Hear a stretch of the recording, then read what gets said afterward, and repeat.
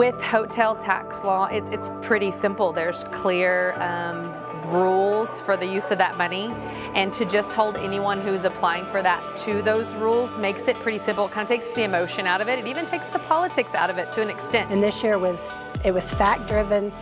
We had formulas. We had staff that looked at the rules and regulations, attended seminars, and that was very important. Everyone pretty much, 99.9% were happy.